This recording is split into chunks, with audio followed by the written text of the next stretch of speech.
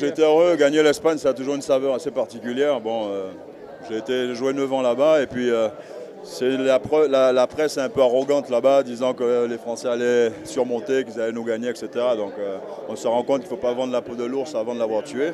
On est passé par toutes les, émotions. C'était un vrai, un vrai quart de finale. Hein. Je pense que les deux équipes, elles n'ont rien lâché pendant tout le match. Un gros match, une grande joie de, passer ce tour. On savait l'équipe d'Espagne très forte, très solide. Ils l'ont prouvé. On a réussi à faire pencher la, la balance de notre côté. On est content et maintenant, ça commence.